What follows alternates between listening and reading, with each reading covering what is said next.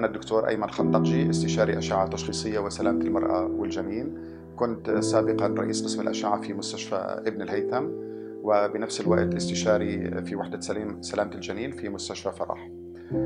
حاليا افتتحت مركزي الخاص في شارع ابن خلدون جبل عمان اللي هو شارع مستشفى الخالدي باسم مركز الدكتور أيمن خندقجي للأشعة التشخيصية. المركز مجهز بأحدث الأجهزة والتقنيات في مجال صحة العائلة بسميها اللي هو الرجل والمرأة. وبنفس الوقت سلامة الحامل اللي هو تميزنا فيه. فعنا أجهزة من أحدث ما يمكن.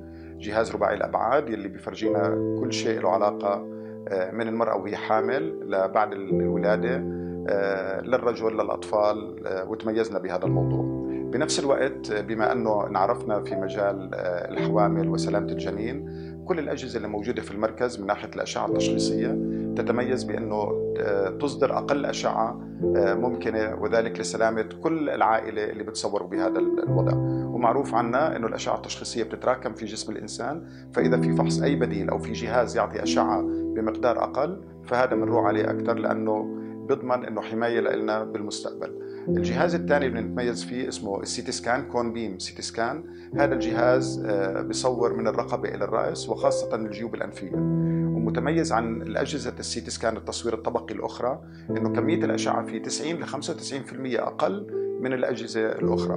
وزائد المريض ما بدخل على تنل أو تيوب مثل ما بتعمل الأجهزة الثانية هو بوضعية الجلوس وراح نشوف صورة الجهاز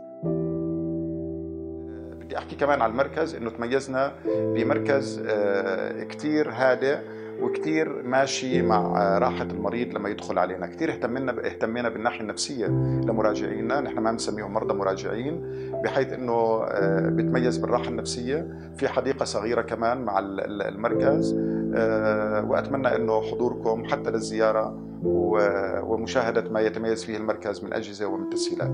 شكرا لكم. ويعطيكم ألف عافية ونتمنى السلامة للجميع دائما.